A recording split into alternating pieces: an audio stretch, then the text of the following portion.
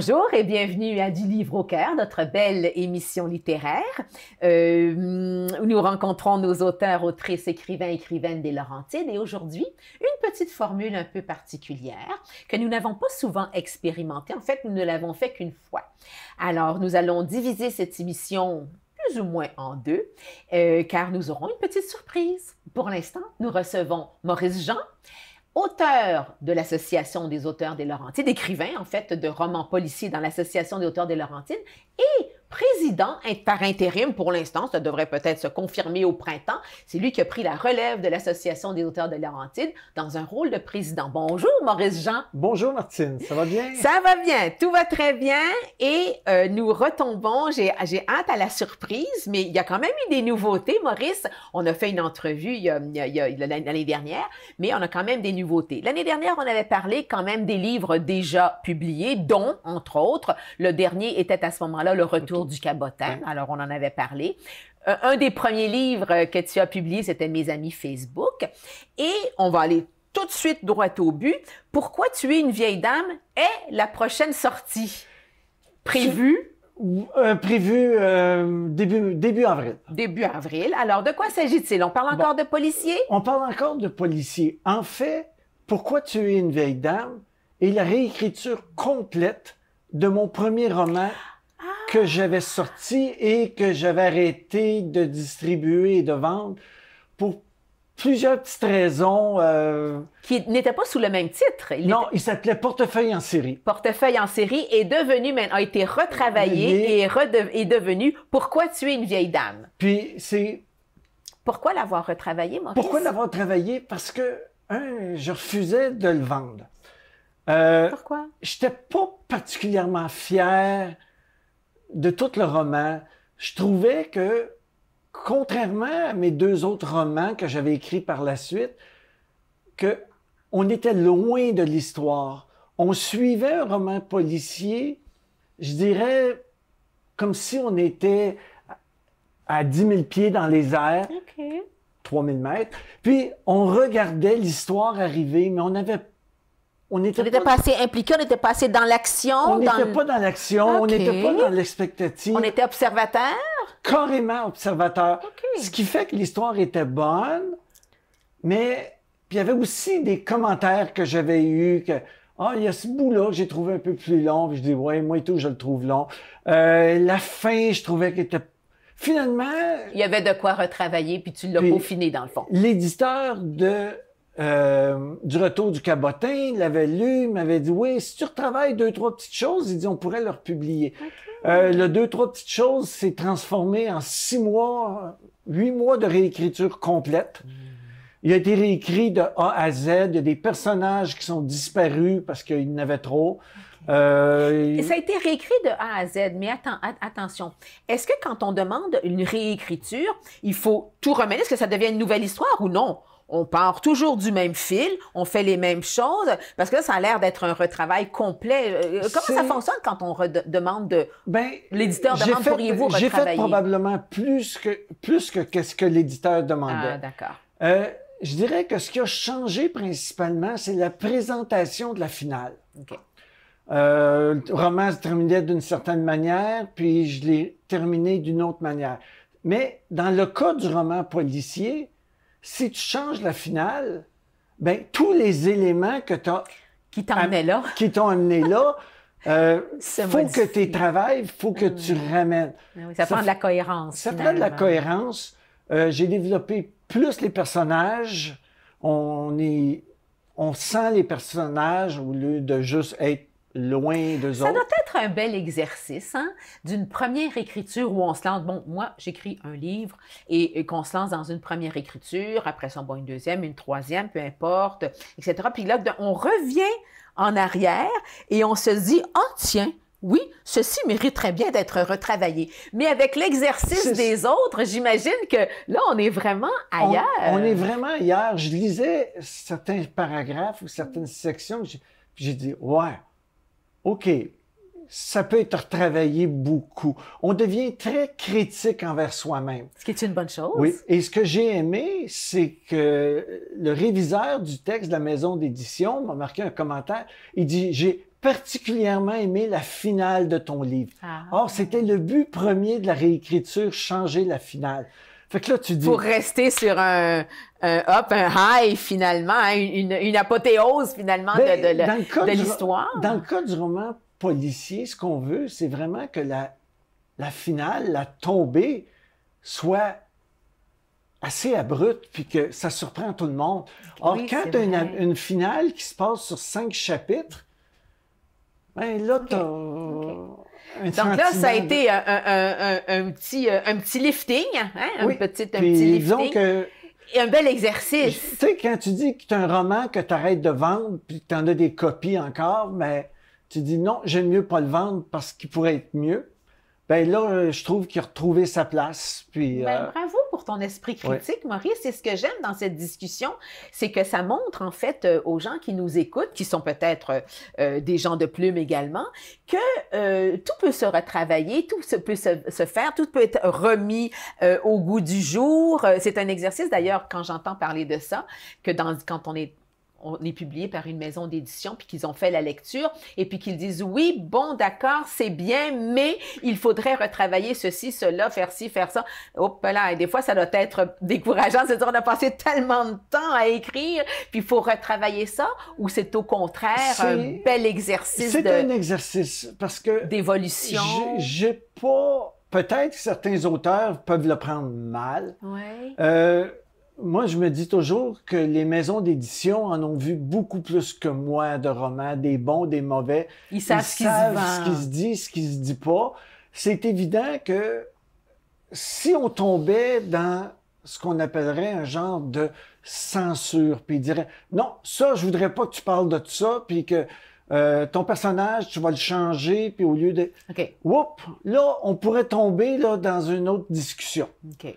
Si par contre on parle de euh, le rythme est lent rendu là un peu, puis Donc On- là, c'est à l'auteur à reniper le tout Bon, et à on- faire en sorte qu'on soit excité quand on lit le livre. exactement. Et Je comprends. j'aime bien qu'on soulève les, bo- les bons sections d'un roman, mais qu'on me dise c'est un peu plus lent là.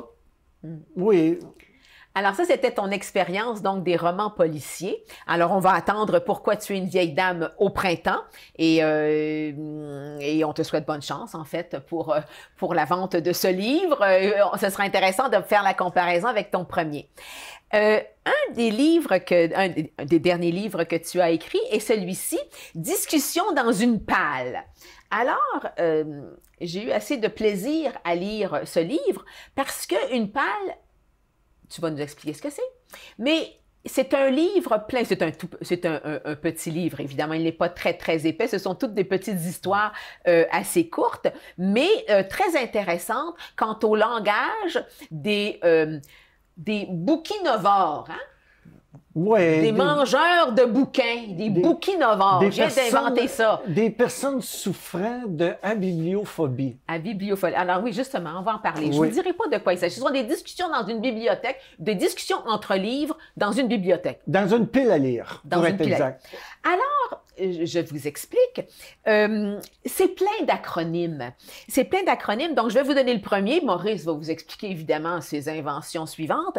Euh, pâle, dans, dans une pâle, c'est dans une pile à lire. Alors, j'aimerais que tu m'expliques, attends que je... euh, euh, mhm, euh, c'est lequel, donc, euh, c'est quoi la, la- cette, cette maladie là, de toujours vouloir empiler des livres, d'a- d'avoir peur de manquer de livres? La bibliophobie. La bibliophobie. Où t'as trouvé ça? J'ai fait une recherche et il y a quelqu'un qui a déjà utilisé ce mot-là. Peur de manquer de livres à lire. Abibliophobie. Phobie. Mhm. C'est et quand tu te promènes sur des sites internet, Facebook et autres, et tu parles de personnes qui ont déjà des livres en quantité, euh, tu sais, on parle, il y en a qui ont des bibliothèques remplies de livres que j'ai achetés puis que je vais lire et qui continuent à en acheter. Sans avoir même pris le temps de lire déjà ce qu'ils avaient acheté, mais ils empilent, ils ont peur de manquer de livres. Ils ont peur, comme je- j'explique à un moment donné, je dis, est-ce que ces personnes-là, ben, des fois, c'est toujours l'opportunité d'avoir un livre dédicacé. Ben là, je peux pas manquer ça. Ça fait que c'est une Ou la des- dernière nouveauté, Ou- ou bien le- l'auteur que nous aimons tant, Hey, il vient d'en sortir un, ben, je le prends parce que je sais que je vais le lire quand, on le sait pas. On ne sait Oui, pas. oui. Puis, Mm. On Je raconte. suis un peu de ces personnes, j'imagine. Euh, je, je pense de par mon travail, évidemment, parce qu'il faut que je dise beaucoup, beaucoup, beaucoup, beaucoup. Donc, j'en ai toujours, toujours des piles. Mais C'est c'est une maladie, ça, là. Oui, et puis c'est un peu, il y a un côté humoristique, mais il y a un côté aussi social un Mm. peu. Tu sais, euh, études sociales, parce que les livres se comportent aussi comme les humains des fois. hein. Euh, pourquoi moi, puis pourquoi pas un autre? Ah, mon tour va venir, puis l'autre, non, mon tour viendra jamais. Oui, ben en fait, c'est ça, c'est cette discussion entre livres. Donc, ce sont euh, les personnages, ce sont les livres dans une bibliothèque. Je veux, je, je ne veux, il est pas très épais, alors il faut pas tout révéler, mais on va quand même s'amuser un tout petit peu. Euh, alors, bibliothécaphobie, peur des amoncellements de livres. Alors, autant on a peur de manquer de livres à lire, donc on les empile, et là, on a peur des amoncellements de livres, on commence à en avoir trop. Voici un autre mot. Hein, il y a ça. Ensuite, il y a, euh, là, c'est toi qui vas me le dire. PDBLPRB, c'était la pile. Wow. P- PDB, LPRB, oh, c'était quoi? Je ne l'ai pas marqué. Je pensais que tu allais me le sortir. Non, je ne sais Euh, pas tout par cœur. Mais- faire tout ça, ok? Mais c'est extrêmement intéressant. Ce que je veux vous dire, c'est que c'est très amusant. C'est très amusant d'entendre les livres discuter entre eux, se disputer la place euh, entre les mains de, le- du lecteur ou de la lectrice qui a accumulé tous ces livres, et surtout les, les savoureux mots que l'on découvre, et qui sont des mots qui existent alors en Oui. fait, Maurice. C'est rien d'inventé non, c'est là. bien inventé. Alors, euh, vous avez du vocabulaire à apprendre, à découvrir, discussion dans une pile à lire, dans une pile de livres à lire. Euh, la raison pour laquelle je te bouscule un tout petit peu, Maurice, c'est que euh, à ça se rajoute ici un joli livre que, euh, à- auquel nous allons inviter ta co-autrice. Alors, on vous revient avec une surprise.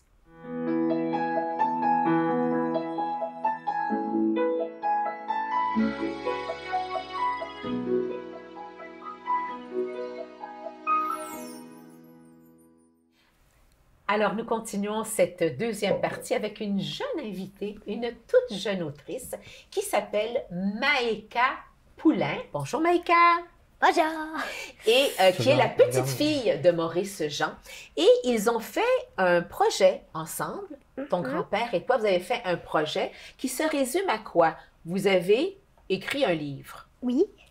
Pourquoi? Est-ce, com- comment est venue cette idée d'écrire un livre? Ben, le soir, d'habitude, il nous racontait comme des histoires. Oui. Avant d'aller coucher?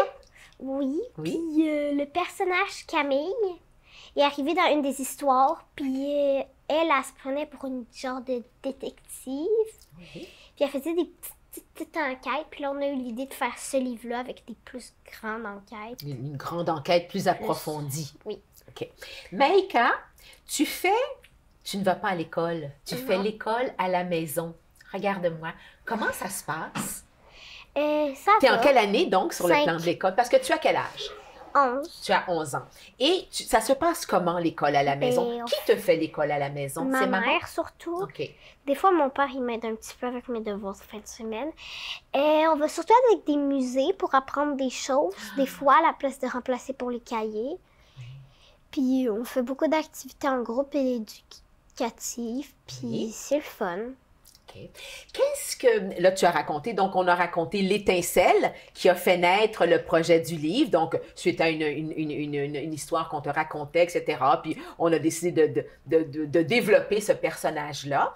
Et euh, qu'est-ce que tu as aimé dans ce projet-là? Euh, comment est-ce que vous comment est-ce que vous avez travaillé, ton grand-père et toi? Est-ce que vous étiez assis tous les deux à un bureau? Puis, qu'est-ce qu'on On fait? était sur le divan, puis on donnait des idées, genre euh, au hasard. Puis, euh, j'ai inventé les personnages, surtout moi, mais C'est vrai? Alors, tu disais quoi? Tu lançais une idée à ton grand-père et puis euh, il les prenait en note et puis... euh, On a commencé par euh, écrire. On a commencé par se donner des idées en parlant. Puis on a écrit ce qui nous plaisait. Euh, j'ai illustré le livre au fur et à mesure. J'étais un petit peu en retard. et Parce que, Oui, prends une petite gorgée, ça va te faire du bien. parce que, en fait, euh, j'ai- j'avais un petit peu pris du retard pour mes dessins parce que Parce que tu as fait les dessins Ouais. aussi. Alors, si vous permettez, on va regarder ici les œuvres euh, qui ont été faites. Euh, un instant. euh, hum, hum. Alors, par exemple, c'est toi qui as dessiné, donc. Alors, voilà, par exemple, on a celui-ci. c'est pas le meilleur. C'est pas le meilleur. Le- C'est quel le, le meilleur? Je sais pas. J'aime bien Camille.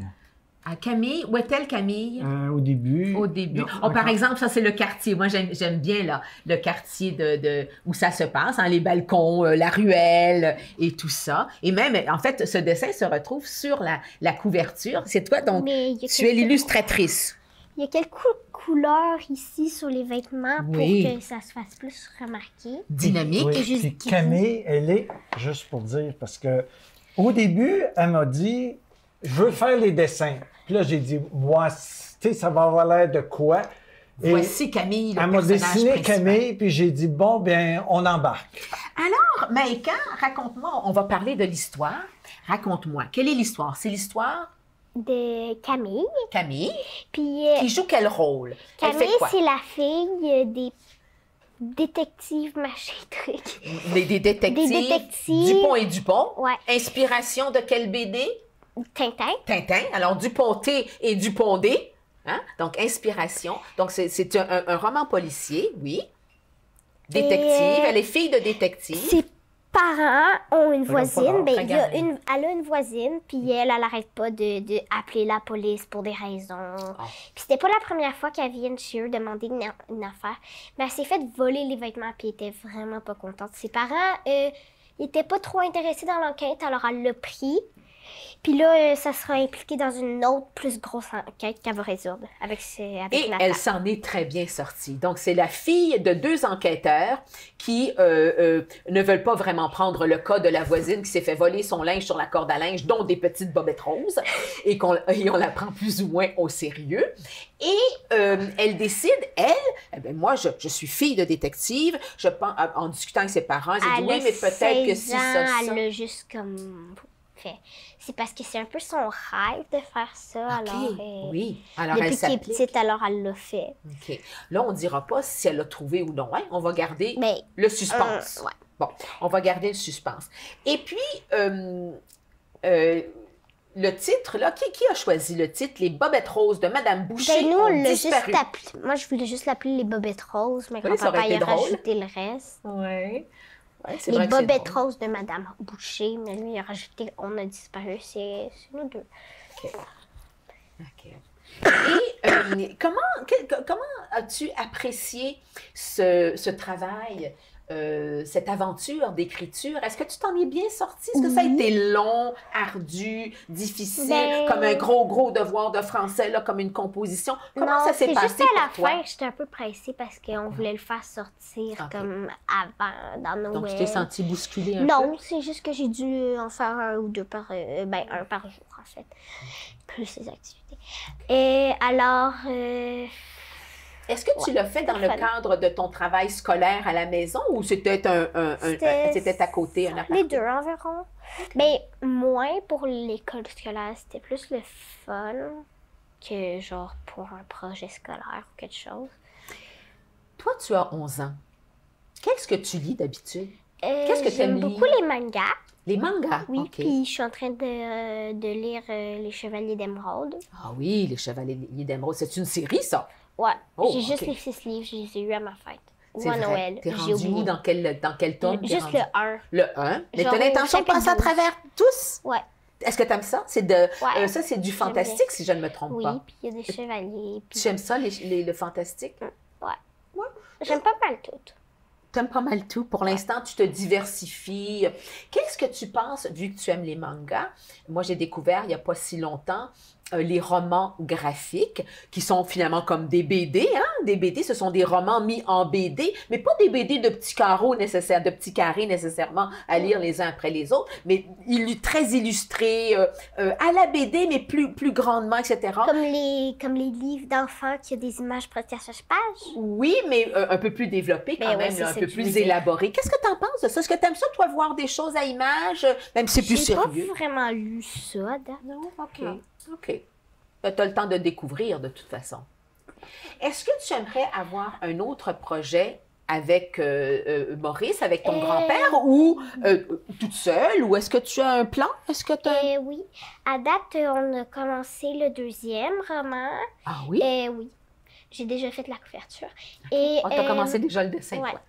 Et C'est un euh, roman quoi? Un roman policier? C'est la suite. On en Ah. aura deux. Parce que Ok. ça sera trois. OK. Là, ce sera Et plus Madame Le Boucher. troisième, ça sera surtout moi. Ok. Mais euh, ouais. Ça sera une OK, donc vous avez un projet de triptyque, Ouais. une trilogie. Et ensuite, j'aimerais écrire mon propre livre, peut-être moi, tout seul. Comme ça, je pourrais avoir plus de droits d'auteur. Puis... Ah oui, d'accord, bien sûr, parce que quand on les aussi. vend, bien sûr, après ça, on a quand même des avantages, n'est-ce pas? Mhm. OK. Maurice, grand-papa, euh, qu'est-ce que t'as... Ça devait être une expérience magnifique, n'est-ce pas?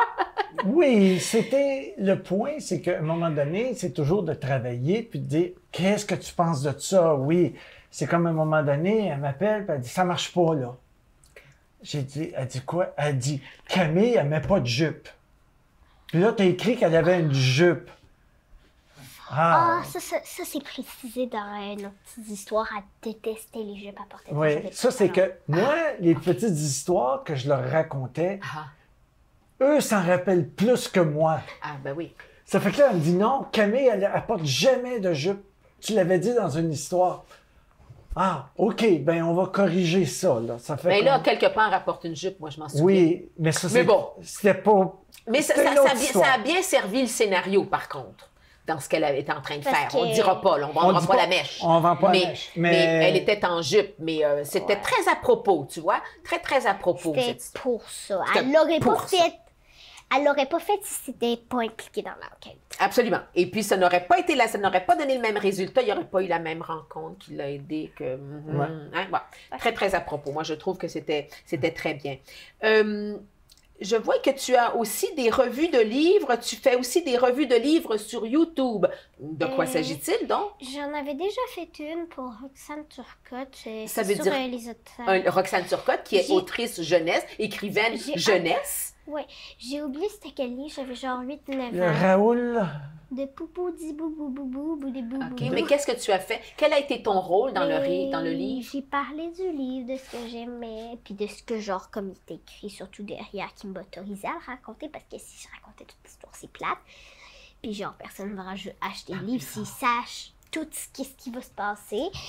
Euh, alors, euh, là, je suis en train d'en faire une sur. euh, c'est quoi déjà le livre? Un livre de, de PJ Chadwick fait. Ah oui, Chadwick, bien sûr. Ouais. OK. Et alors, qu'est-ce que tu fais à l'intérieur de ça? Tu fais Je l'ai des... terminé, mais je l'ai pas encore. Tu fais une vidéo Ouais. avec le livre, avec l'histoire, puis toi, euh, euh, Ce que j'aime surtout comme ça, euh, le monde qui va voir ce que moi j'aime dans le livre, ils vont genre, hey, moi aussi j'aime ce genre de truc, je vais l'acheter, ils vont l'essayer. Ah oui, d'accord. Donc là, est-ce que tu es en train de me dire... mais c'est elle qui fait tout le montage vidéo. Ben, le premier c'est grand-papa surtout, là, j'avais genre 9 Oui, mais le dernier, c'est toi qui as fait tout le montage Mais vidéo.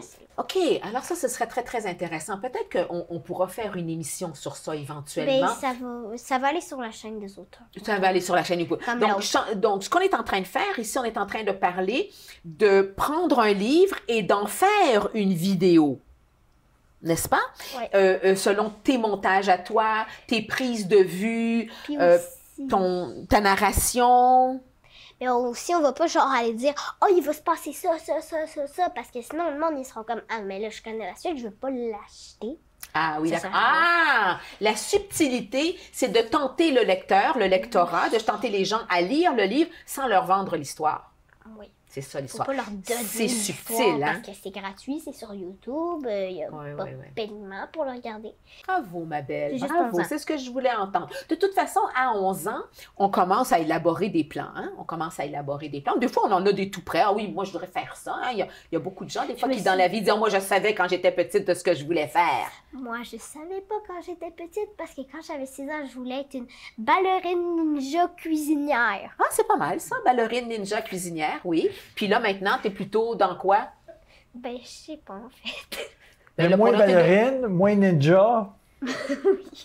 Tu verras, en tout le temps. Ben, moi, je cuisine pas. Moi, j'ai pas envie de faire genre des millions d'affaires. Ah oui, d'accord. Mais bon, regarde, tu as, beaucoup de temps quand même devant toi pour élaborer les choses et faire en sorte que... Est-ce que tu es heureuse de faire l'école à la maison? Oui, c'est c'est Oui. tous mes choix. J'ai le droit d'y aller quand je veux à l'école. Ah, tu as le droit d'aller à l'école. Tu, Ouais. tu peux aller dans une vraie école là, euh, quand tu veux, mais tu aimes bien faire ton école à la maison avec maman. Je vois quand même des amis. Je les vois pas chaque jour, mais avec le temps de la récré, quand même, je les vois Mm. beaucoup si Mhm. on compte la récré. Tu peux aller les rejoindre à la Oui, je les vois deux, trois, quatre fois par... euh, pas quatre fois, mais entre trois puis une. Mais des fois zéro si je suis malade, mais par semaine. Ben, Maïka, euh, je trouve que tu es bien partie. Je trouve que ton grand-père t'a bien inspiré finalement. Tu vois que par. Est-ce que tu penses que c'est par la lecture euh, que ton grand-père t'a fait euh, le soir pour, euh, t'allumer, pour, euh, pour te divertir ou pour t'endormir? Est-ce que tu crois que c'est de là qu'a été plantée la petite graine qui fait en sorte que maintenant tu aimes lire, tu aimes écrire? Est-ce que tu aurais un message à dire peut-être à tes amis? J'aime beaucoup lire depuis longtemps. Puis Pourquoi regarde-moi ici, euh, pourquoi tu aimes lire? On lit tout. Ben, c'est comme aller dans un nouveau monde. C'est comme voyager, mais presque gratuitement. D'accord. Ben, si tu vas à le baby, c'est gratuit. Oui. Sauf l'essence, mais Oui. Presque Donc, bibliothèque, aller à la bibliothèque, se faire lire des histoires par tes grands-parents, euh, toi-même lire, etc. T'aimes ça, puis tu trouves ça bien. Est-ce que tu aimerais que, euh, que tes amis soient comme ça aussi? Aiment... Ben, la plupart de mes amis, ils lisent. Oui? OK. Ah, c'est bien, ça me Il y en a moins d'autres, surtout les jeunes, des fois ils s'obstinent, Oui. mais dans le plus tard, ils aiment ça. là. Oui, parce qu'il y a toutes sortes de lectures. C'est pas obligé d'être un livre que, que, des, que seulement des lettres, là, des phrases. Ça peut être aussi avec des, des illustrations, des BD, qu'on lise n'importe quoi, en autant qu'on lise. Même si le livre, en fait, ça dit de genre euh, 10 à 14 ans, il y en a des enfants de 8 ans qui l'ont lu sans problème. C'est juste que si t'as comme 14 ans puis tu vois un livre qui dit de 8 à 14 ans, tu serais comme Ah, ça, ça a l'air bébé. Ah, d'accord. Il ne faudrait pas restreindre trop quand même. Si hein. moi, à 10 ans, euh, j'allais pas lire des affaires de juste tout ça. Oui, ça oui. aller plus loin. Et Ouais, je comprends. je trouve ça plus raison. intéressant? Oui, d'accord. Ça, ça avait été un des points aussi quand on a regardé notre livre pour quel âge qu'on visait? Ah on oui. voulait pas être trop bas. Ah oui. Euh, Est-ce on- que ça le dit, ça, ici? Oui, ah oui, dit 10, à 14, ans. Ben, regarde, moi, je, je n'ai pas ni 10 et, je ne suis pas entre 10 et 14 ans, mais je l'ai lu avec beaucoup de plaisir. Oui, parce Et que, j'ai trouvé que l'enquête était super bien menée. oui, c'est qu'on voulait faire vraiment un roman policier Oui. et non pas souvent ce qu'on trouve dans les romans de 10 à 14 ans qui sont. Comment tu dis ça, toi? Comme genre, on a perdu le chocolat, on a perdu le chat Ouais, de ouais, ouais, madame. ouais. a- Mais c'était, très original parce que la Madame Ouais. Boucher, là, avec ses vêtements qui ont été pris sur la corde à linge, etc. Mais là où ça nous mène, Ça, c'est intéressant. ça, c'est intéressant. Et je vous le conseille, mesdames et messieurs. Puis, Euh, jeune, jeune, jeune, jeune euh, ou adulte, euh, c'est un livre qui se lit très bien. J'en ai eu beaucoup de plaisir. Et euh, euh, c'est intéressant de voir euh, la créativité de nos enfants. Alors, encourageons-les à lire, à écrire, à s'exprimer comme ils le veulent. Maïka, on a débordé de beaucoup cette entrevue. Je suis très heureuse que tu te sois jointe à nous pour que nous puissions parler de tes écrits. Je suis très contente. Je te félicite pour ton talent parce que moi, j'ai beaucoup apprécié. Bien sûr, on sait bien que l'écriture derrière, il y, a, il y a une belle entraide avec ton grand-père, Oui. mais c'était. Et ta grand-mère, parce que ta grand-mère aussi, elle, Elle a était tout professeure corrigé. de français. Elle a tout Elle a corrigé. tout corrigé. Mesdames et messieurs, comprenez-vous que la lecture, l'écriture, ça commence jeune et qu'il faut les encourager. Et vous savez quoi? Regarde Ils ont de là. très belles idées. Alors, Maïka, merci. Bonne continuité. Tu peux dire au revoir à tes auditeurs et auditrices qui vont probablement être contents de pouvoir aller lire ton livre. Merci, Maurice, d'avoir été là. Merci de nous avoir présenté ta petite fille et d'avoir présenté ce travail à deux. À la prochaine.